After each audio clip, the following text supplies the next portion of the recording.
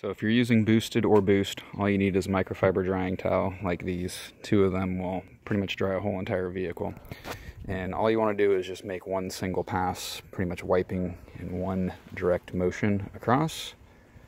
You don't really need to apply much pressure, just enough to let the microfiber pick up what's on the surface.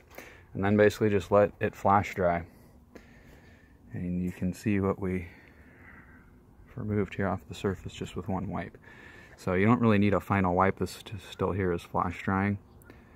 And then you can see that's kind of where we ended and didn't really pick up a lot of the water. But basic premise, just keep uh, going in one direction and you will accomplish some pretty nice shine.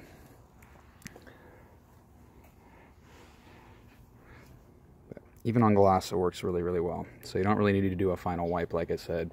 Um, you can, it would just make this thing look even better, but really the intended purpose of the soap is to create a high-end looking wash with, uh, you know, as little effort as possible. So I'm gonna dry this off and then I will uh, show you guys uh, what it looks like when I'm all done. But once again, you can see and then what little streaking is left will flash dry.